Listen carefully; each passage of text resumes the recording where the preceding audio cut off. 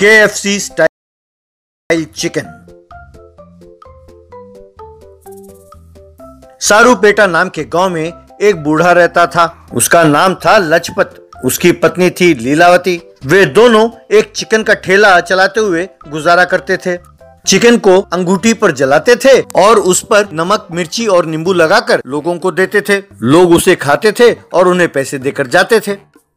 अरे भाई लजपत तुम्हारे पास ये एक ही तरह का चिकन खाकर वो गए हैं। कोई नए वैरायटी क्यों नहीं बनाते? उसे तेल में डालकर तल सकते हो ना? वो बहुत स्वादिष्ट रहता है।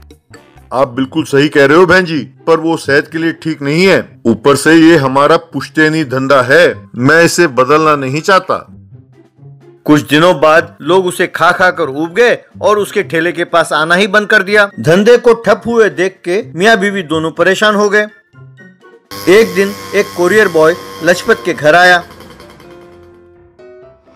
उसे उसने एक पैकेट सौंपा। उसे लेते हुए लजपत, बेटा, ये क्या है? इसके अंदर क्या है?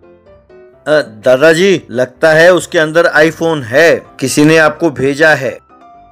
पर बेटा, ये आईफोन है क्या चीज़? और मुझे कौन भेजेगा? लगता है ये गलत पते पर पहुँच गया है। जरा ध्यान से देखना बेटा। नहीं दादाजी, मैंने पते को ठीक से पढ़ा है, जांचा है, फिर ही लेके आया हूँ आपके पास। अरे आप किस्मत वाले हो दादाजी, आप जानते हैं आईफोन कम से कम एक लाख रुपए का होता है। कहकर चला गया। अगले दिन कार में उनके घर एक विदेशी आया।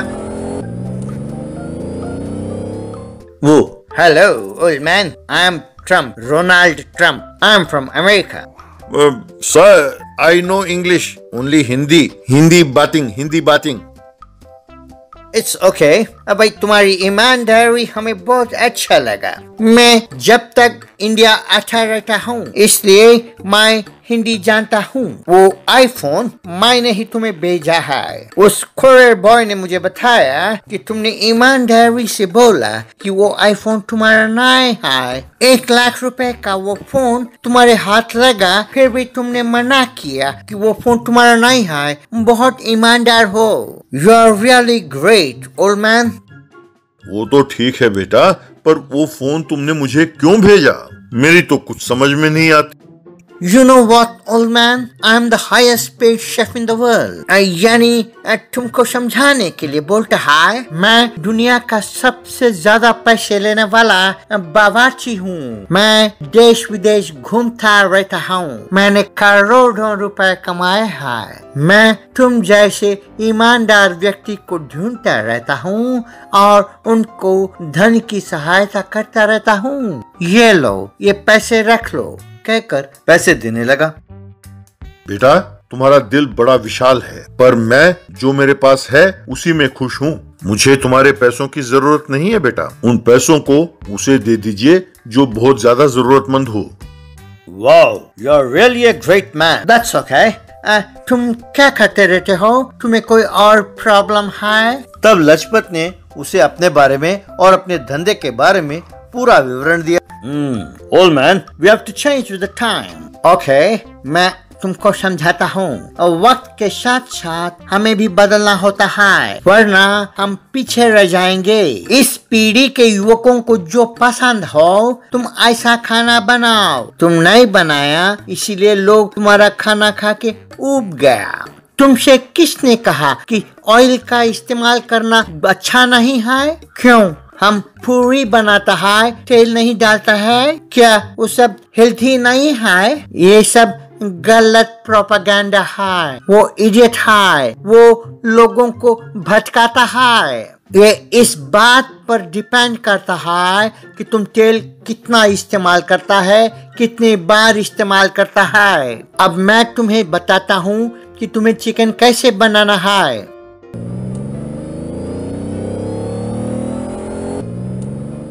इस तरह ट्रंप उसके ठेले पर चिकन लेग पीस और कई किस्म के व्यंजन तेल में तलने लगा।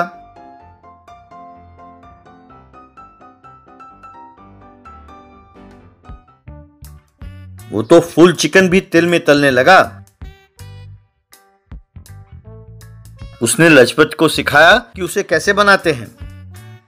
लुक ओल्ड मैन तुम तेल को बार बार इस्तेमाल नहीं करना का माँगता है। वो सेहत के लिए अच्छा नहीं है। यही मेरा तुम्हें एडवाइस है। ज़्यादातर लोग यही गलती करता है।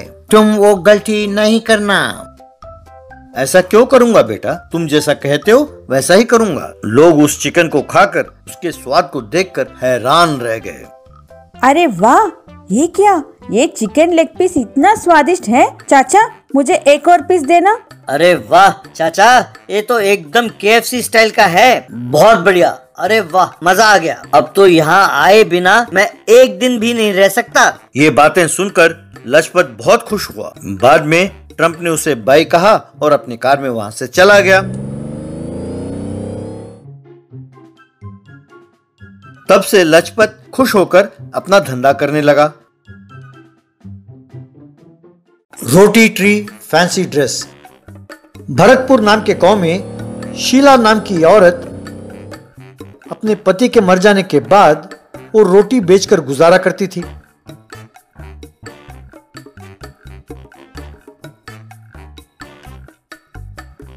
उससे मिलने वाली कमाई से अपने बेटे सागर को पढ़ाती थी। वो भी बहुत मेहनत से पढ़ता था और अपनी माँ की मदद करता रहता था। एक दिन शीला।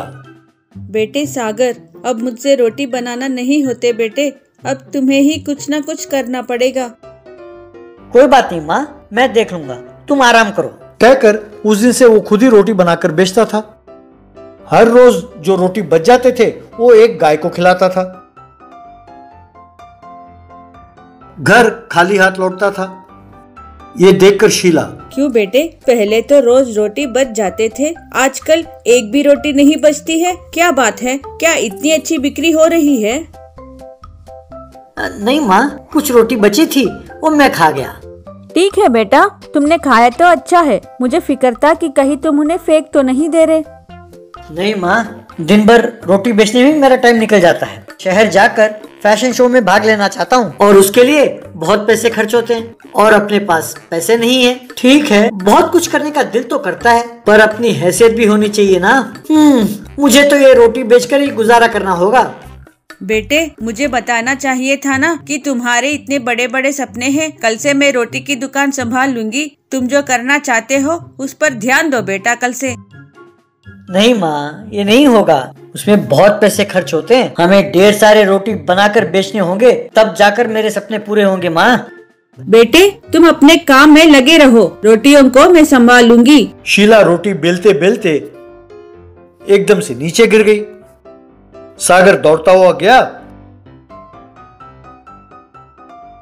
और अपनी माँ को एक डॉक्टर के पास ले गया। उसे जाँच के डॉक्टर बेटा ये काफ़ी कमज़ोर हैं। सेहत भी ठीक ठाक नहीं है। इनका ठीक से ख्याल रखना वरना इनके जान को खतरा है। इनका ऑपरेशन करना ज़रूरी है और उसके लिए बहुत पैसे चाहिए। पर डॉक्टर साहब हमारे पास इतने पैसे नहीं है। ठीक है पहले पैसे कमा लो फिर इन्हें ले आना। तब तक अगर वो बची रही तो उनका इलाज कर दूँगा वरना भगवान की मर्ज़ी मैं कुछ नहीं कर सकता। तब सागर हताश होकर अपने माँ को घर ले आया और घर में ही उनका देखभाल करने लगा। बस माँ की देखभाल करते हुए सागर को देखकर शीला। बेटा मैं तुम्हारी मदद करना चाहती थी और खुद मैं तुम पर बोझ बन गई हूँ। ना माँ ऐसा ना कहो। मेरे सपनों से ज़्यादा तुम मेरे लिए बहुत महत्वपूर्ण। अब तुम सारी चिंताएँ छोड़ दो और आराम करो। मैं तुम्हारी अच्छी तरह देखभाल करूँगा माँ। यू माँ को लिटा रहा था कि वो गाय जिसे ये हर रोज रोटी खिलाता था वो आई। उसे देखकर सागर हे गो माता आज हम रोटियों की दुकान नहीं खोल पाए। माँ की तबीयत ठीक नहीं है ना? कल से तुम आ जाना तुम्हें अच्छे अच्छे रोटियाँ खिलाऊँगा। तब उसकी माँ देख कर अच्छा तो ये बात है बेटा रोज रोटी ऐसे खाली होते थे? तब वो गाय सागर को एक जगह ले गई। वहाँ देखा तो वहाँ एक रोटियों का पेड़ था। जैसे ही गाय उस पेड़ के पास गई तो पेड़ से रोटी गिरने लगे। उसे देखकर सागर अरे वाह रोटियों की बारिश बहुत बढ़िया। हे गौ माता ये पेड़ तुमने मेरे लिए लगाया? अब मुझे और मेरी माँ को कोई चिंता नहीं है। कहकर हर रोज उस पेड़ से रोटी तोड़ता था और उन्हें बेचकर गुजारा करता था। कुछ ही दिनों में उन्हें काफ़ी लाभ हुआ। माँ को अस्पताल ले जाकर उन पैसों से उनका इलाज कराया।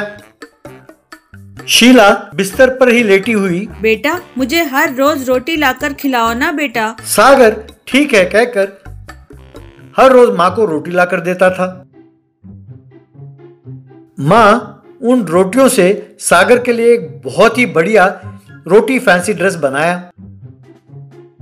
रोटियों की टोकरी के साथ आए हुए सागर से बेटा अब रोटियों को रहने दो। देखो माँ ने तुम्हारे लिए क्या बनाया है? कहकर उसका बनाया हुआ रोटी फैंसी ड्रेस दिखाया।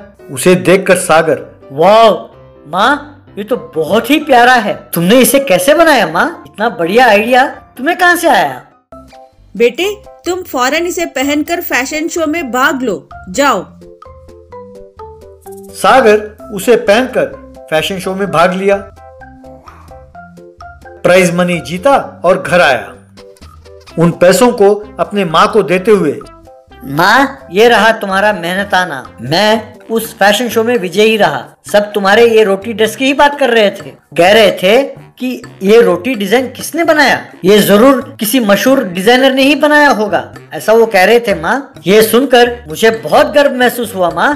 तब मैंने उन्हें बताया कि ये मेरी माँ ने डिज़ाइन किया है। ये सुन के सब खुश होकर ताली बजा रहे थे माँ। कहकर अपने खुशी माँ के साथ बांटने लगा। ये सब सुनकर शीला बेटा ये सब उस रोटी पेड़ का कमाल है जो उस गाय ने हमें दिखाया था।